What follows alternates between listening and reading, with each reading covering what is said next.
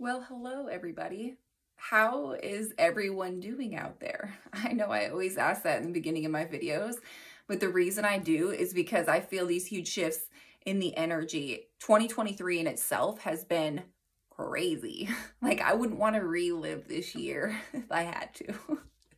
but I'm feeling that light at the end of the tunnel. Literally, the full moon lunar eclipse was Saturday. These past two days, I have felt a complete change in the energy, a complete shift.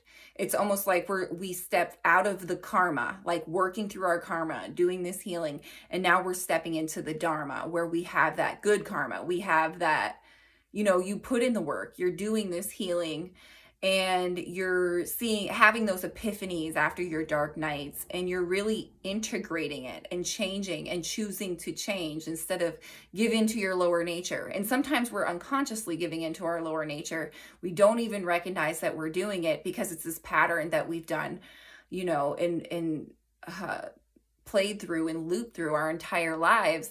And so when you become conscious of it which how do you do that? You go through dark moments. You have to be sent these lessons. This isn't the universe trying to punish you. It's actually trying to give you a gift so you can come to that epiphany like, oh shit, I don't want to do that anymore. I don't want to repeat that cycle or that pattern that I've been repeating that I thought was normal or I thought it's just a part of my personality. And that's just it. That's that shift in the energy is us going from operating from a unconsciously from a place of ego even if you've been on your spiritual journey for years, there's still aspects of you that are operating from that consciousness, right?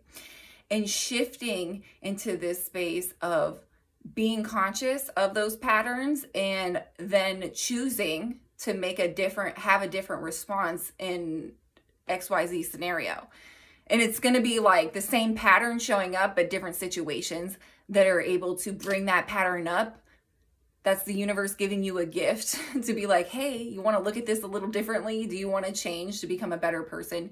Do you want to walk with integrity? Do you want to like, yeah, you always have kind of responded in that way instead of saying, oh, that's just my personality. You let go of that identity. And I think that's what where a lot of people struggle is like we're so attached to that old identity of who we are. And instead of embracing like what we're becoming and stepping into mission and and being humble enough to be like yeah maybe i know bits and pieces of my mission but i'm just to leave it to the universe leave it to god to bring what it is going to be in, in each given moment.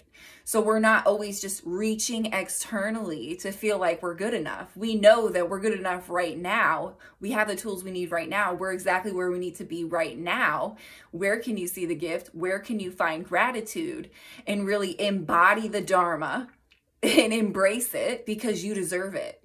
And ultimately, if you're still sinking into that egoic, um, response or pattern, there's something inside of you that says, I don't deserve this dharma. I don't deserve this. There's some deep seated trauma or whatever it is for you. You know what it is for you, right? And it can hold you back a little, it can keep you in the um, quicksand. But what I felt for whoever the collective is that follows me in general is that there was this shift. There was this shift in the month of October. Huge shift. Because if you notice, it has been turbulent. It has been insane all this year. And then all of a sudden, we're closing this eclipse cycle, which I believe started in 2021. And all the epiphanies are coming. All of a sudden, you feel this weight lifted off of you of these things that have been worrying you which kind of makes me want to flow into the first, the download that I got last night because there was this, actually posted on the stories of my Instagram. If you want my Instagram account, it's below this video. I post it below all, all my information below all the videos that I uh, put on YouTube. But anyway, somebody had posted something and it was something about like, why are we worrying about the things that God has already taken care of? And so as soon as I read that, this download came to me to share, not just on there, but with everybody because it's the truth. And sometimes we're so hard on ourselves that we're like thinking we're messing up. We're thinking we're missing the boat to 5D or we're missing the boat on our ascension journey or we're just repeating another pattern because we have this unworthiness in us. So when I read this quote that had to do with like, what are you worried about? Like the universe already has you. Like, what are you worried about? This is what came up for me. I said, I used to think that I had to strong arm myself through life. Connecting with spirit brought me to a space beyond faith, into knowing that it's all working out for me, no matter what it seems in the 3D. The epiphanies that come after the dark moments are the biggest gifts of all. We have to fall in order to rise. Remember that when you're on the brink during a dark night. And that's just it. Like, we think every single time something bad comes up that it's like we're messing up, but it's really not. It's not. It, we're exactly where we need to be in that moment because the universe is trying to show you something that will give you the opportunity to expand. And in those moments, it is so hard to find the gift because the the focus is on whatever it is that's worrying you, whatever the negative thing is, whatever the thing is at work, whatever the thing is in your marriage, or whatever the thing is with as a parent, or maybe you had to go to court for something, like whatever the drama is in your life, you think it's life just happening to you right? But it's not that at all. It's literally the universe saying, look at this. What is it trying to show you about you? Because we always want to blame our boss, our coworker, our partner, um, whatever the circumstances is, we want to blame when we're in ego. And we want to go into victim mode. And that just sucks you into that pattern and looping and when you can really be like, wow, what is this? This is actually a blessing. I just have to find, I have to see where that blessing is. And in order to do that, you have to open up your heart and be like, I am divinely loved and guided. So, what in this situation is divine love and guidance? And be humble enough to be like, okay, this is something about me and how I'm responding to life and that's like, that is the healing work. That is the integration because we can take in all this information, but what are we going to do with it? If you don't do anything with it, it really doesn't do you much good. What's the point of knowing all these things spiritually if you're not going to actually put it into action in your in every single moment of your life? How can I walk with integrity? How can I connect to spirit? How can I impact those around me um, in a beautiful way just by being me. I don't have to be extra. I'm just being authentic and it gives others that permission to be authentic too. Because you ever notice people like kind of walk around and they're so worried about how they look or like how what they said or like there's always like this paranoia you can see in people's energy not always, but a, lot of cases, you can see the insecurities. They wear them on their sleeves. They're afraid to be who they are, or they change like a chameleon with each person they're with in order to satisfy the other person's ego, in order to feel like they're accepted and loved. So many people walk around with these unworthiness wounds and they think they're confident. They think they're all right. They think they're doing good. And it's only according to the Matrix's standards that is totally operating from the ego, from the, the service to self, right? And when I say that, that means you walk around not caring how you impact what's around you that isn't that's a lack of integrity. That's service to self. It doesn't matter about anything but me. And like that's what i try to talk about. There's a difference between self-care and an overflowing cup and service to self. Because when your cup is overflowing it's because you're getting your uh, emotional fulfillment through service through and sometimes that service is to yourself so you can raise your own frequency but that's not about going to get your nail done or drinking with the girls or you know whatever that external thing you're like material things whatever that external thing is that you're reaching for that thinks that you think is gonna fill your cup or satisfy you really that's just uh, boosting your ego in some way. That's running away from sitting with yourself because when you sit with yourself, you become the observer and you're so much more aware of how you impact those around you to the point where you start to feel everything. You feel them, you feel you, you see how it's all interconnected, how you can just, you don't even have to touch somebody. You just walk in the same building as them and you can tap into the energy. You can tap into whatever.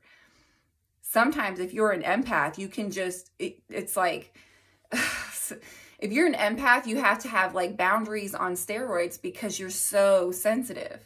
Somebody could drive their car past your house and you can feel their energetic field, right?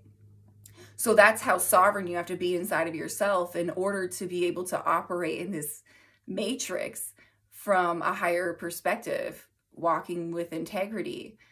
Because um like the more you expand, the more you raise your vibration, the more that things that don't align with that higher expansion that you've come into will be intolerable. And so once you get to the point where you're you're you're you've done this work, you've cleared a lot of it, you're really connected to source. You have this personal relationship, right, with the universe, with spirit, with God, however it resonates with you. And when you are in that space, it is almost impossible not to be conscious of how you impact what's around you because you know how powerful you are. And you've stepped into these frequencies where you're able to make a big difference. And that's what the work is, is raising your vibrational frequency. But you start to understand what exactly is it for me that will do that? And when you start stepping into service and mission and your intention is pure, it's not just about making money or something like that. Your intentions are so pure. It's just like, I know I'm here for the light. Like all those material things, all these, all this stuff in the physical, it's so much more beyond that. And that is priority. That is like, if it doesn't feel good, I'm out, right? But that shadow, you still work with it. But what do you do? You sit back, you observe, and you see the gift, right? So we stop, and we'll, and our intuition gets to the point where we stop putting ourselves in uh, situations. We're not in alignment with situations that are going to bring down our frequency. Our body will reject it. Like the spirit, if you, if you come into contact with somebody and you you know you have a lesson to learn from them and then that lesson's over spirit will expose something about them or expose something about the situation or expose something about the job or whatever it is. So then you're gone. It's over. You you know what you got your lesson you're gone right? Everything doesn't have to stay. That's why you say i'm like um what is it? I am part of everything but attached to nothing. Because it is that. It's like you really have to use your discernment on this journey to know like when do I stay and when do I go? When is the lesson still being learned and when do I need to part ways? It's it's really gnarly out there. it has been on my whole like experience. I'm wondering if I should share the other half of this or make it a different video. Um I'm just going to share it. I'm just going to share it. Okay. I got this one this morning. You've got to let people learn their lessons, and you don't want for them to have to learn them with you. That's why boundaries are necessary. Awareness is also crucial so you can be conscious of the patterns in order to understand what kind of boundaries are needed. Usually, space is required, that space is a gift because now that person can go learn their lessons with others and you are gifted the opportunity to identify why you at a subconscious level feel unworthy and, and a vibrational match to this type of dynamic. And I was going to make a separate twin flame video um, for this but you know what? I'm just going to share it in this video and that's just fine because I feel um, guided to. Because this doesn't just apply to twin flames, but it does apply to the fact that when darkness comes up and we hold that judgment as of to what it means, like we blame ourselves for the darkness coming up. Well, it must be because I'm in this shitty frequency because I'm not doing the work and now I'm not going to ascend and you spiral into this crazy victimy darkness and it's like, no, wait it's Christmas. Open up the gift. There's a gift there. Like see it, you know. It's so hard when you're swimming in it. Swimming in the in the trigger or whatever the scenario is that pops up for you. That is the gift. And it's gonna be the same way for others. So that's where this download comes in, okay? So for example, if you're on the twin flame journey, they're they need to learn too, just as much as you do. You both do. Okay, if you guys aren't in a harmonious union, you're both learning, still learning.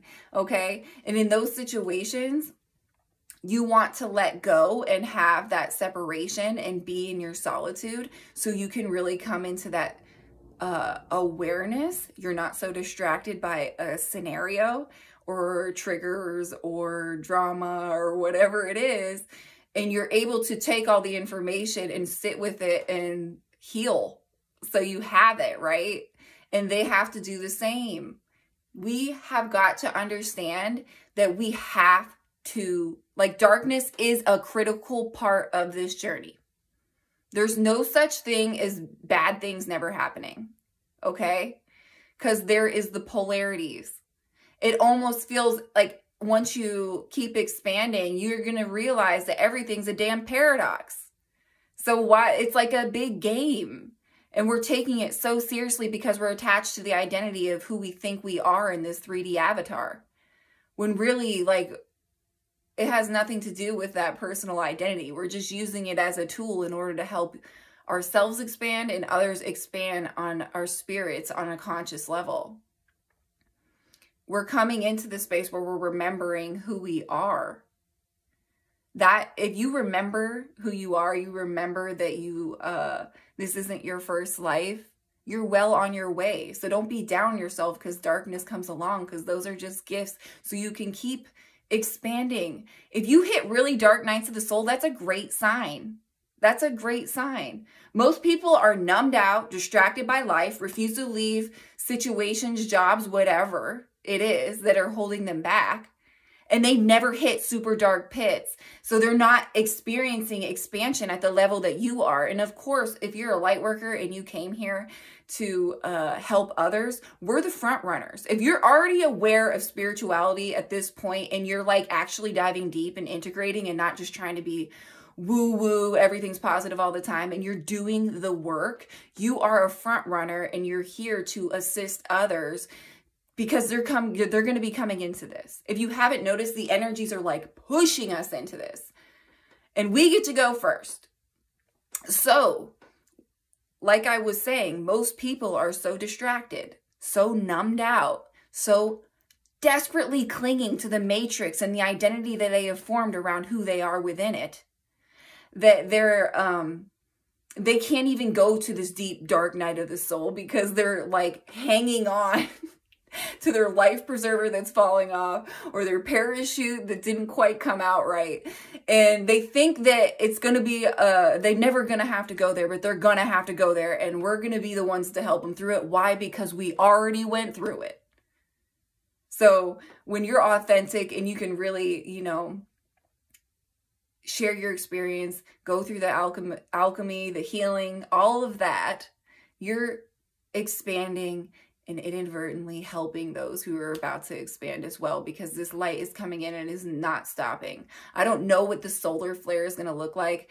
I know that right now we're being blasted and blasted and blasted and that can only be for more and more preparation to expand. It's not going to slow down. Just imagine like I don't know how it's been for all of you, but in my experience, every single year, every single month, every time we are moving forward and it is flying, it is just, it's more and more, I don't want to say pressure, but it kind of feels that way to expand. To just expand and just, oh my gosh, like even people who have been doing this 20, 30 years are saying the same things like, whoa, I have never experienced anything like this before. And it just keeps turning up and turning up the pressure. And it's, I feel like it's not going to stop. It's not going to stop because this is the great shift. This is the, the great awakening. This is everybody uh, having no choice but to heal or drown in your darkness. And that's the unfortunate truth is that some souls just aren't going to be able to handle it. And, and like, it sounds um, harsh from a 3D perspective, but from a 5D perspective, that's okay. That's okay. That's part of the cleansing of the earth. And there's nothing that we can do to try to stop that or control that. It's not for us to save every single soul. That it's okay for the souls to go back and reincarnate and try again. That could be part of their journey, and we have to stop trying to control other people's journeys. If you are a twin flame, it doesn't matter. It doesn't matter if you ever even see that person again. It doesn't matter. That's not what the point of the whole thing was. The point was to expansion for you, unity, your divine masculine, divine feminine energies within yourself coming together, coming in this divine union within yourself in order to come on to mission. So, whether you have a union in the physical or not, it does not matter. The gift is granted. You had the experience. Will it probably happen if you're doing the work? Sure, yes. Does it matter? No. And that's the thing. You have to get into that energy where it's just like, I'm sitting here by myself, and this is so much more than enough. And I can just feel myself every day expanding more into who I authentically am, unapologetically being that. Knowing that I will only, you know, accept like the most divine, loving, expanded connection that's connected to my mission. And if not, get out of my way because we have things to do here, right? Go learn your lesson. But right now I'm focused on what what I need to do in terms of expansion and um, emanating my light.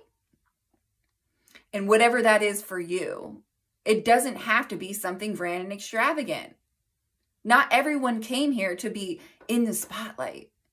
It's like you you could be in the spotlight but completely like not on a 3D perspective because your light is just beaming.